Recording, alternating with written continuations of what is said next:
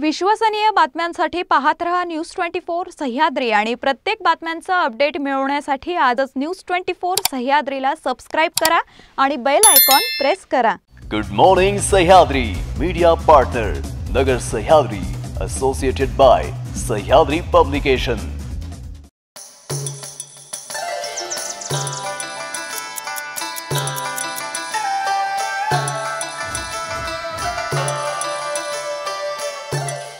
good morning मी ज्योती. आपण पाहताय news twenty four Sahyadri. Good morning Sahyadri. या बातमीपत्रात तुमचं स्वागत. पाहूयात सकाळच्या महत्त्वपूर्ण बातम्या. ग्रामीण परिसरात गेल्या काही महिन्यांपासून भीषण पाणी टंचाई जाणवत आहे. याच पाणी टंचाईची झळ ही नागरिकांना पडत असून पाणी टंचाईमुळे देसले पाड्यातील पाच जणांचा जीव गेला. यानंतर तात्पुरत्या स्वरूपात महापालिकेनं उपाययोजना केल्या असल्या तरी पाणी टंचाई अद्याप जाणवत आहे. दरम्यान पाणी टंचाईबाबत आपण बैठक घेऊ असं आश्वासन पालकमंत्र्यांनी दिलं होतं. मात्र याबाबतची बैठक अद्याप झाली नसल्यानं मनसे आमदार राजू पाटील यांनी पुन्हा एकदा पाण्याच्या विषयावरती ट्विट केलाय. याच ट्विटमधून त्यांनी मुख्यमंत्री उद्धव ठाकरे यांना कोचक टोला देखील लगावलाय. नुसते निवडणुका आल्या आश्वासनं देऊ नका. इथे पाण्याची कमी नाही आहे त्याचं नियोजन नाही आहे आता नियोजन एका झटक्यात करू शकतात फक्त अधिकाऱ्यांना आदेश द्यायची कमी आहे. परंतु त्या बाबतीत पण आम्ही पालकमंत्र्यांना हजार वेळा सांगून ते लक्ष देत नाही आहे पालकमंत्र्यांना ते भेटले तर त्यांनाही घेऊन या एकदा. तुम्हाला परिस्थिती दाखवतो. त्यात कुठलंही राजकारण करायचं नाही आहे. परंतु ते म, जे बळी चाललेत मागच्या वेळेस पाच बळी एका घरातले गेले. पालकमंत्री साधे तिथे बघायला आले नाही. पिक्चरचं प्रमोशन करत फिरत होते.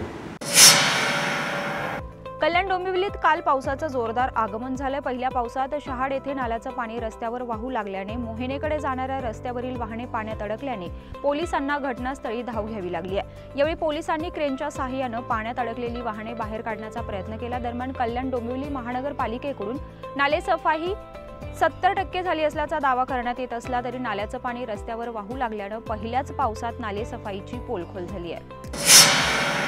कल्याण डोंबिवलीकरांना असलेली पावसाची प्रतीक्षा काल अखेर संपली आहे. संध्याकाळी सात वाजण्याच्या सुमारास कल्याण डोंबिवली परिसरात पावसानं हजेरी लावली त्यामुळे अचानक आलेल्या पावसानं घरी परतणाऱ्या खरेदीनिमित्त घराबाहेर पडलेल्या नागरिकांची चांगलीच तारांबळ उडाल्याचं चित्र दिसून आलंय.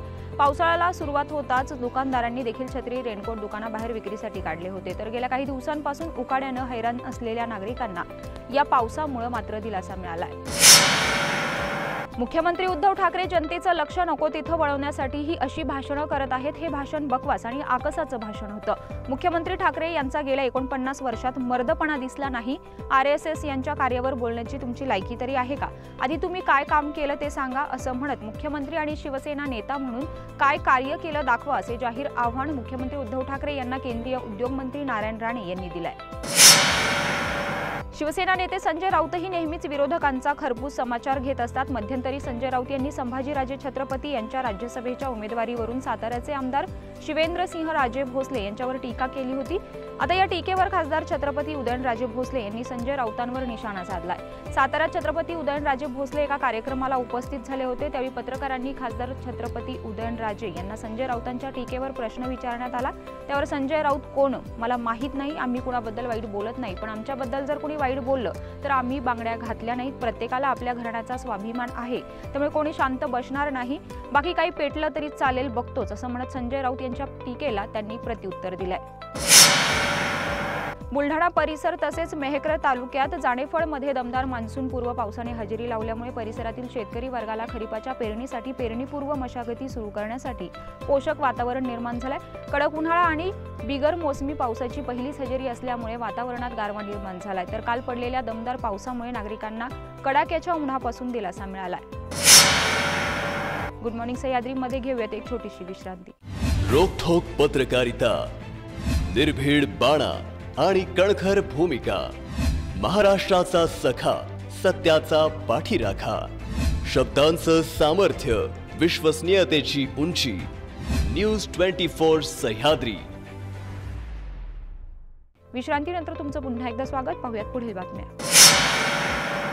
सध्या खरीप हंगाम पेरणीची लगबग सुरू असून बियाणे खत तुटवडा होईल अशी चर्चा सुरू आहे. मात्र गतवर्षीप्रमाणे मार्केटमध्ये बियाणे उपलब्ध असून शेतकऱ्यांनी महागडे पिशवी बियाणे हे घेण्यापेक्षा शेतकऱ्यांचे घरगुती बियाणे उगवण क्षमता आणि स्वतः शासकीय यंत्रणेकडून तपासून घ्यावे तसेच रासायनिक खताच्या एखाद्या प्रकाराची मागणी न करता उपलब्ध खत आणि त्यानुसार आवश्यक अन्य मात्रा कृषी कर्मचाऱ्यांशी बोलून घ्याव्यात.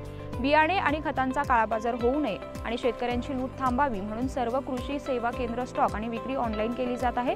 तसेच प्रत्येक तालुक्याला एक आणि जिल्हा एक भरारी पथक तयार केले असल्याची माहिती प्रभारी जिल्हा अधीक्षक कृषी अधिकारी महेश तीर्थकर यांनी दिली आहे. गेल्या वर्षभरापासून कल्याण डोंबिवली महापालिकेने कचरा प्रश्न सोडवण्यासाठी ओला सुका कचरा वर्गीकरण कचऱ्यावर प्रक्रिया करणे प्रकल्प अशा विविध उपाययोजना सुरू केल्यात. मात्र गेल्या दीड ते दोन महिन्यांपासून या सगळ्या उपाययोजना फोल ठरल्याचं शहरात साचलेल्या कचऱ्यांच्या ढिगांवरून दिसून येत आहे. शहरात जागोजागी कचऱ्यांचं ढीग साचलेले दिसून येत असल्याने शहरात अस्वच्छतेचं साम्राज्य पसरलंय तर त्याचबरोबर नागरिकांना दुर्गंधीचा देखील सामना करावा लागतोय. आरोपींना घेऊन कोर्टासमोर हजर करण्यासाठी बुलढाण्याकडे येणाऱ्या पोलीस जीपने दुचाकीला मागून जोरदार धडक दिली आहे. यात युवक ठार तर दुसरा गंभीर जखमी झाल्याची घटना. कोलवड या गावाजवळ काल दुपारी तीन वाजेच्या सुमारास घडली आहे. उबाळखेड येथे आकाश राजगुरू आणि दशरथ शालिकराम देवराम हे दोघे दुचाकीने कोलवडकडे जात असताना धाड पोलीस स्टेशनची जीप दोन आरोपींना बुलढाणा कोर्टासमोर हजर करण्यासाठी धाड येथून बुलढाणाकडे जात असताना दुचाकीला मागून जोरदार धडक दिली आहे. यात आकाश आणि दशरथ दोघे गंभीर जखमी झाले त्यांना त्याच जीपमध्ये बुलढाणा येथील जिल्हा सामान्य रुग्णालयात आणलं मात्र डॉक्टरांनी आकाशला मृत घोषित केलंय.